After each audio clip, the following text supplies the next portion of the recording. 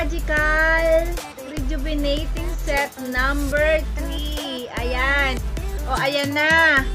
Ayan. Medyo nagla-light na siya. Tapos, sobrang pumuputi na yung mukha ko. Ayan. Nagla-light na to. Kasi dati to sobrang itim eh. Tapos, gumaganda na ako. Yan lang. Ayun. Kasi sa isang video ko, hindi ko na paliwanag kung kailan anong gagamitin sa umaga at anong gagamitin sa gabi. Kaya ngayon, ipapaliwanag ko sa inyo kung paano ko ginamit. Sa gabi po, pagkahilamos nyo nito, ayan, ito pa yung tira, oh, dami pa. Wow! Meron po po doon akong ginagamit na kaganto pa. Katipid ko pong gumamit ng ganito, ayan. Pagkatapos nyo po maghilamos ng koji, ang gagamitin nyo po naman ay itong Rejuvenating Facial Toner number 3.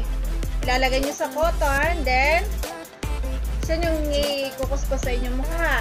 Pagkatapos po nun, ay gagamitin nyo naman itong ah, moisturizing cream number 3. Ayan. Ito po, ang sunod na gagamitin.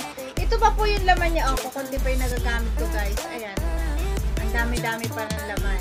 Kasi, bihira nga lang akong gumamit. Dapat kasi, kasi, dapat kasi two times a day. Eh, minsan, sa gabi lang ako, sa gabi ko lang ito ginagamit. Ito.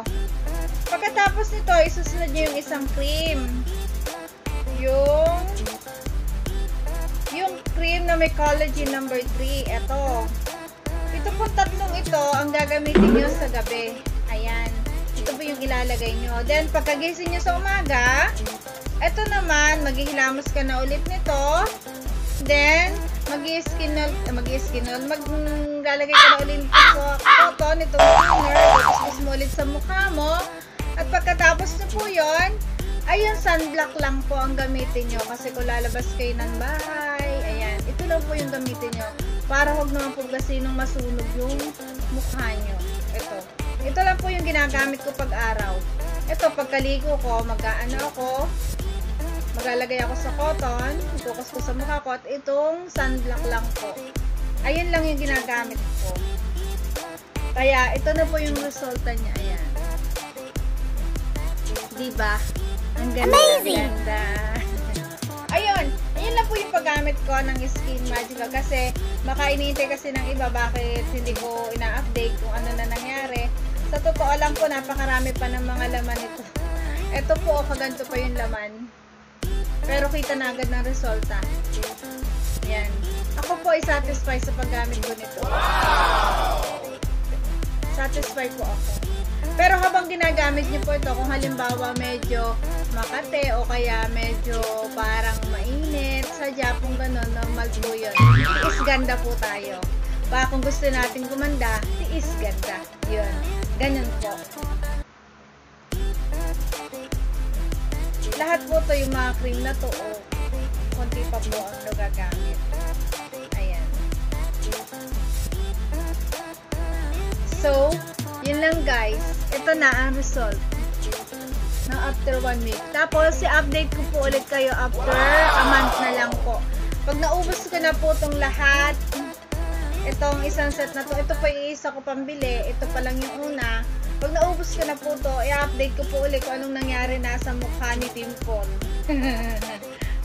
ba, kung sumobra na yung puti o ano, ano ba nangyari sa pekas oh. ko na wala na. Pero ngayon po talaga nagla-light na siya. So, ayun lang guys. And thank you for watching. It's me, Dimple. Pag-like, share, subscribe mo naman ako para lagi kang updated sa mga videos ko. Thank you, thank you. Mega, mega shoutout nga po pala kay Happy Cats 8, kay Kuya Ton, ah, kay Teresa Bisaya, Impact Guaps, Ana Lubabriga, si Tenshi 06, Board Season, ayan, John 10, OFW Kikay, Rias Live in Korea, sis! Mega mega shoutout sa'yo.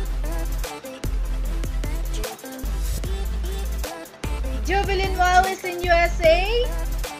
Mega mega shoutout sa'yo. Bonggang bonggang shoutout sa'yo, Kuya Ton. Happy Cats. DJ Shine. Marsky TV. Yours Daisy. Miss A. Alice Mendez. Dison. Mega mega shoutout sa inyong lahat. At sino pa bang akin nalimutan? Baka may nalimutan pa ako. Baka magtampo sa akin. Sino pa? Sino pa? Sino pa? Mama siya! Hello? Mega mega shoutout sa iyo. Mama siya. Mami siya. Mom and daughter. Um, sino pa ba? Ana Lupa Briga? Nasabi na ba? Hello, hello. Mega mega shoutout sa iyo. Wala na yata, nalimutan ko na kung sino-sino pa sila. Cooking, ay, ay, hello, hello pala sa'yo. Cooking with Tita Stars. Sisi, mega mega shoutout sa iyo. And thank you for watching. Thank you, thank you po sa inyo. Thank you.